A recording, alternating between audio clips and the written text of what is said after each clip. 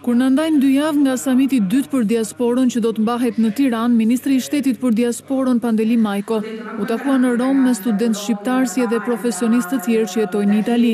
Majko ftoi studentët shqiptarë në Itali të organizohen mes tyre e të krijojnë një rrjet lidhës mes katedrave të ndryshme universitare për të qenë më aktivë në kontributin e tyre konkret në Shqipëri. Vetë studentët shqiptarë në Itali e vlerësuan si pozitiv këtë takim me ministrin e Diasporës.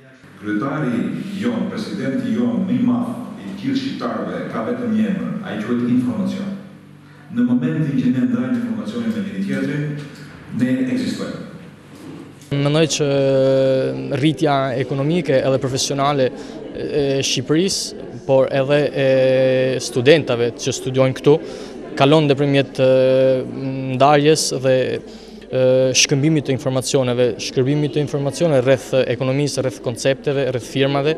Më vjen të kujtoj shprehjen e presidentit amerikan që thoshte mos, mos shikojmë çfarë bën shteti për ne, por çfarë bëjmë ne për atdheun. Takimi me studentët e profesionistët shqiptarë në Itali u realizua nga Shoqata Integra Onlus. Kryetarja Klodiana Cuka theksoi se ky ishte një takim mjaft i frytshëm. Në këtë seminar u hodhën bazat për krijimin e një rrjeti mes kategorive të kualifikuara të intelektualëve shqiptarë në Itali për realizimin e kapacitetit të një opinioni publik që pesëqind mijë shqiptarë që janë në Itali të shndërrohen në një forcë të madhe dhe jo vetëm sociale.